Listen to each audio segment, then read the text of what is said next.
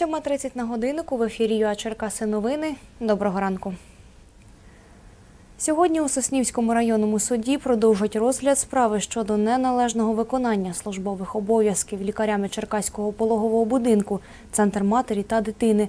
Адвокат потерпілої Світлани Портнової, яка народжувала у цьому закладі, клопотала про призначення пологового будинку цивільним позивачем у справі, оскільки вважає, що відповідальність має понести і пологовий будинок. Нагадаємо, 26 травня 2017 року жителька Черкаської області Світлана Портнова народжувала у закладі. Жінка наполягала на проведенні кесаревого розтину. Провести операцію лікарі відмовилися. Через сильну асфіксію дитина набула інвалідності. Черкащанка Людмила Маловиця хоче найняти муніципальну няню для свого однорічного сина. За її словами, програма Муніципальна няня зручна тим, що доглядати за дітьми може їхня бабуся чи дідусь. Проект впроваджує Міністерство соціальної політики України. Згідно з ним, держава повертатиме сім'ям кошти за послуги няні у розмірі прожиткового мінімуму. Це 1626 гривень. Для тих, хто доглядатиме дітей, передбачений соціальний стаж. За яких умов можна стати учасником програми, розкаже Юлія Наровкова. Людмила Маловиця має двох дітей. Старшому синові 10 років. Під час першого декрету няню не наймала, допомагали бабусі і дідусі. Я вийшла на роботу, мені вже е, е, старшому було рік і вісім. І, скажімо, на той момент, е, ну от. Я б навіть сказала, що такої програми не вистачало, тому що стало таке питання, що в садочок його ще віддавати не хотіли. От, а щоб хтось за ним приглядав, то це в нас була бабуся. Меншому синові за два тижні виповниться рік. Жінка ще не працює та невдовзі планує вийти на роботу. Тому послуги няні стали б в нагоді, додає Людмила, адже й в родичів не завжди виходить бути поряд. Досить часто виникають такі ситуації, коли в мене старший він займається, наприклад, спортом. Е, Виїжджає на якісь там змагання, там потребує якоїсь там ну теж уваги, десь там потрібно бути з ним присутнім.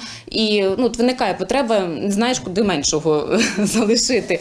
Ну там відповідно добре, що є бабушки, і якби є можливість е, залишити на бабушку, на дідушку. Ну там, коли немає можливості, то беремо з собою. А от на такий період можна було б і скористатися е, послугами няні. Уряд розробив програму Муніципальна няня. Якщо дитина не досягла трьох років, а мама хоче вийти на роботу, сім'я може скористатися послугами няні. Щомісяця родині повертатимуть 1626 гривень, розповідає директор департаменту соцполітики Олег Гудзенко. За програмою дітей можуть доглядати рідні або інші люди. Сім'я і няня підписують договір, за дотриманням якого слідкує місцевий департамент соцполітики. Він же й відшкодовуватиме гроші з державної субвенції.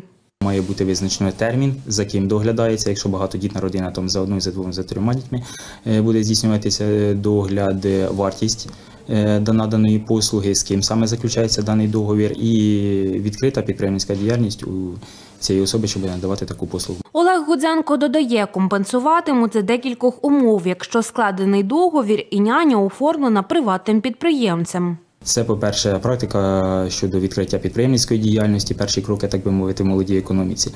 Е, Інше те, що в них буде здійснюватися нарахування соціального стажу, і відповідно буде сплачуватися єдиний соціальний внесок за їхню роботу. Тобто вони вже матимуть певні відрахування на свою пенсію в подальшому. Черкащанка Валерія Кучеренко розповідає, працювала нянею 4 роки без укладання письмових договорів.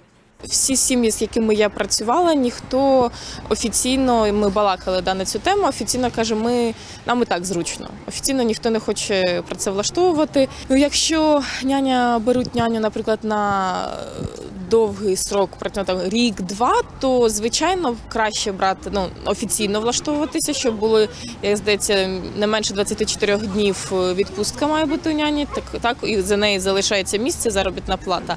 І е, якщо вона, не дай Бог, захворіла, то також е, офіційно виплачують медичну страховку. Тобто, якщо на довгий строк е, роботи, то тоді, в принципі, якщо так розглядати, то воно ще і вигідно. Бо є такі дорослі, наприклад, жінки, то вони офіційно хочуть складати, там яким за 50, у них е, подосвіта, все.